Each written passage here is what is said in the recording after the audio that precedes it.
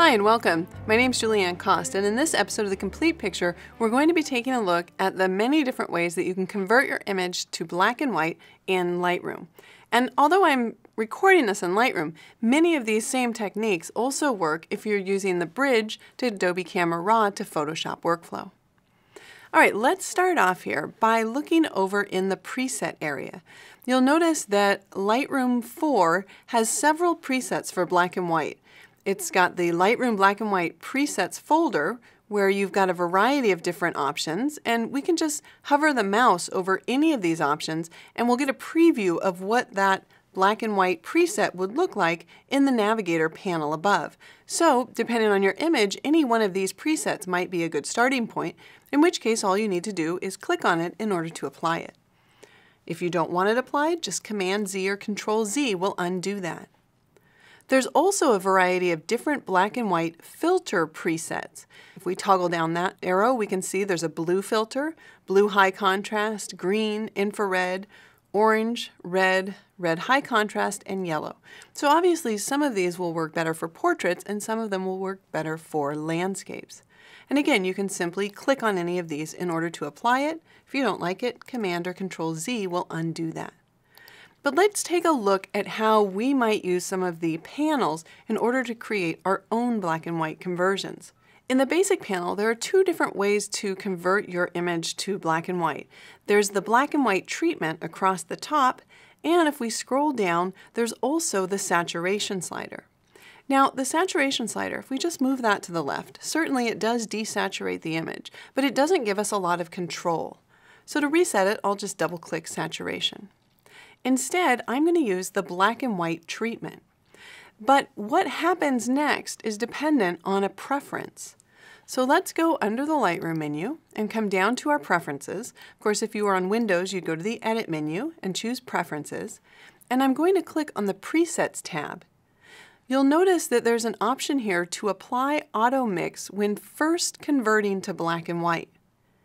If we uncheck this and then close the preference, if we convert to black and white, and then we scroll down to our black and white panel here, you'll notice that all of the options, all of the sliders are set to zero.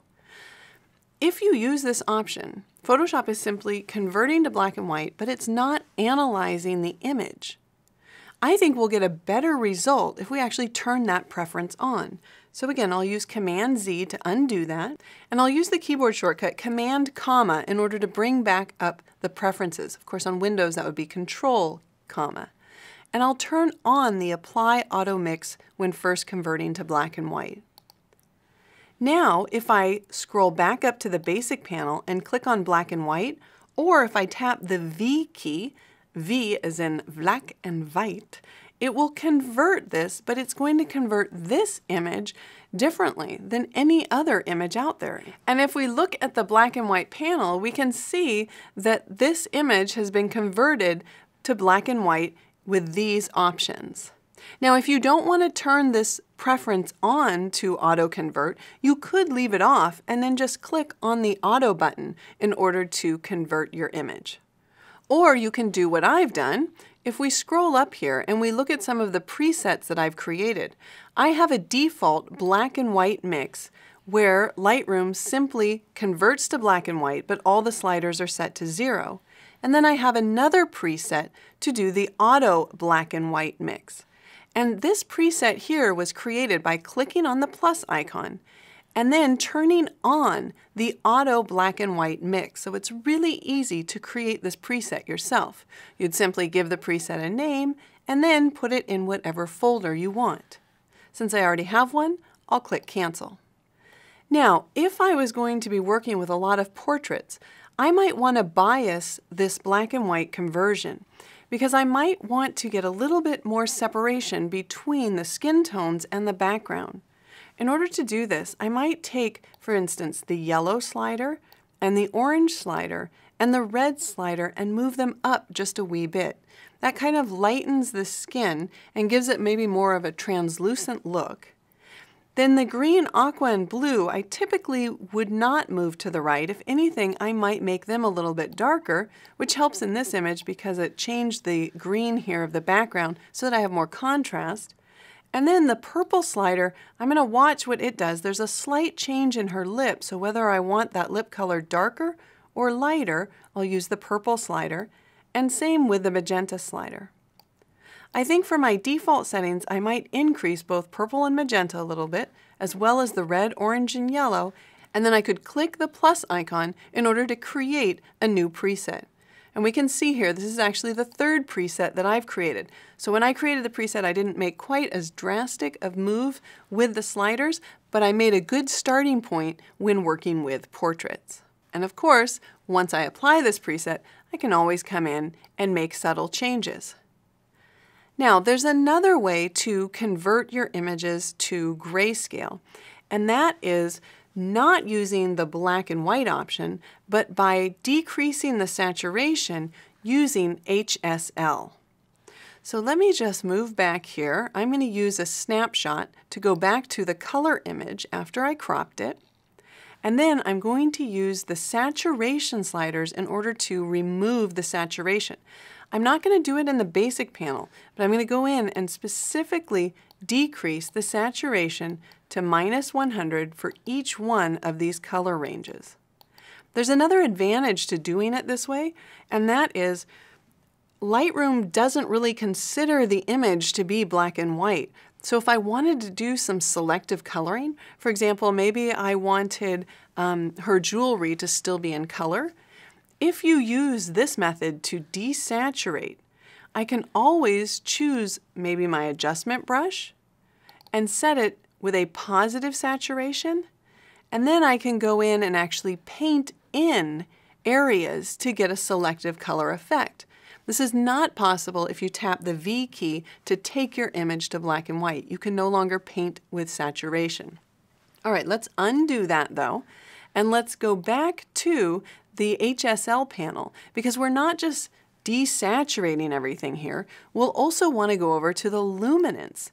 And in the luminance, here's where we can go in and fine tune and make adjustments to our image, just like we could or we did a moment ago in black and white. So I can make these same changes here using this method, and it gives me the flexibility of also being able to selectively color the image or add back in color to a specific range. I mean, if I wanted a specific color range, that would be as easy as going to saturation and just increasing some of these ranges to bring back a little bit of color in the image. All right, but I don't want to do that. I want to go ahead and leave those to negative 100 and in fact, you can see that I've got two presets. This first preset brings down the saturation to 100%, and the next preset here that I've got saved brings down the saturation to 100%, but it lightens up the luminance in the red, orange, yellow, and purple channels. So here's the default desaturated, and here's with lightning in those other channels. So again, I've created presets which are a good starting point for converting my images to black and white. Let's move back to the saturation one here. This one you'll notice is minus 100 and if we go to luminance, they're all aligned at zero.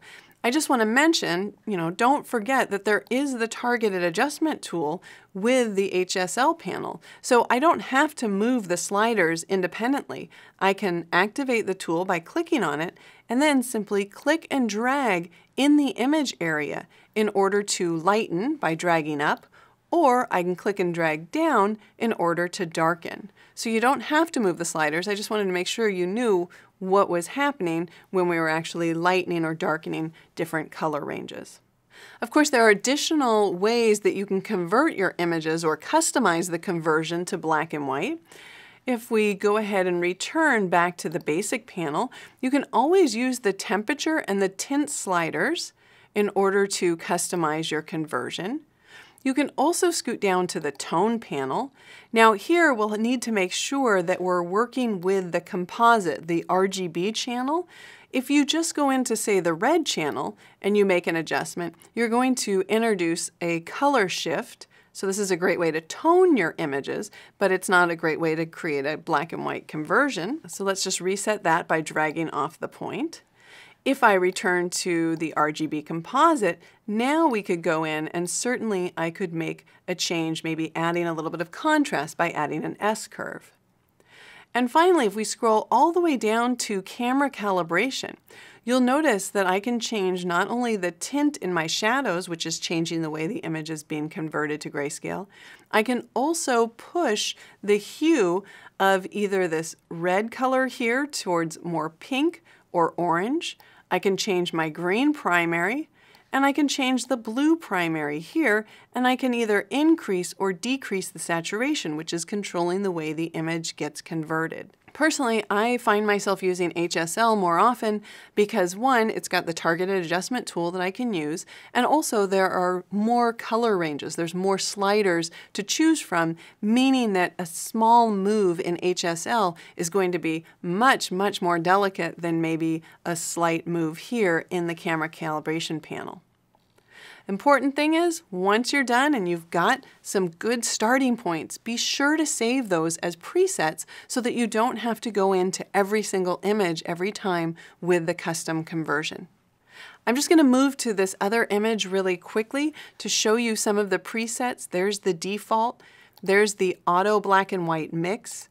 Here's my portrait one, which happens to work very well on this landscape because it's increasing or lightening the red, orange, and yellows. Here we have just a desaturation, and here again we're lightening those yellows, but not as much. And of course we can come in here and make changes. But let's say I like this preset the best as a starting point. So we'll select that, go into black and white, grab our targeted adjustment tool, and maybe just lighten this lighthouse up a little bit more. Don't forget, I've been making global adjustments. We can always come into the adjustment brush. Let's say, for example, because this image, if we tap the Y key and we look at before and after, this image, the sky really doesn't have any color to it, so there's no like blue color range that I can darken or lighten. But what I can do is I can load up my adjustment brush, not with saturation, but instead maybe with a negative highlight or a negative exposure. I'll make sure that the auto mask is turned on, and then I'll click and drag in the sky area. I'll come around the fence here and the wires. Because the auto mask option is on, it's only affecting the sky there. Of course, I can come and click in between these. Of course, if I was doing this, I would want to probably zoom in, but for now, this should be good. And then we can go ahead and, if that adjustment isn't big enough, let's go ahead and take the exposure down a little bit more, maybe add a little bit of contrast, and maybe decrease the highlights. So as you can see, Lightroom really has a lot of tools to help you convert your images to black and white, not only globally, but also selectively. My name is Julieanne Kost. Thanks for watching.